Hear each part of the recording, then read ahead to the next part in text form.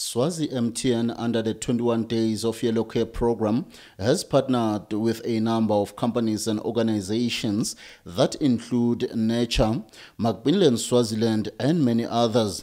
And they were part of this year's 21 Days of Yellow Care.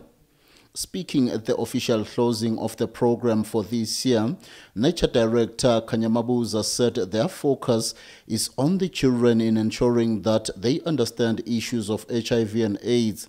Mabuza says what they discovered is that children know about HIV, but they do not have an in-depth knowledge, which is why working with the Ministry of Education, they established speaking books, which helps the children that even if they cannot read, but the book can speak to them. Mabuza revealed that they've already educated the teachers of Endlaleni Primary School on how to use the speaking books and they left a number of copies for the school.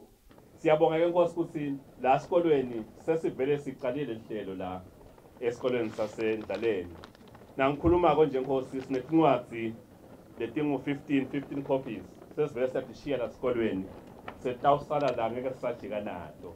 Meanwhile, Macmillan Education Swaziland Director, Managing Director Busi Simelane said when they joined this year's 21 Days of Yellow Care, they brought with them 250,000 emalangeni, which was in the form of whiteboards, books, and trolleys. But after seeing the dire situation at Ndlaleni Primary School, they thought of what they could add as they had pledged to supply one reading trolley. Hence, they added another trolley and additional books to the value of 70,000 emalangeni.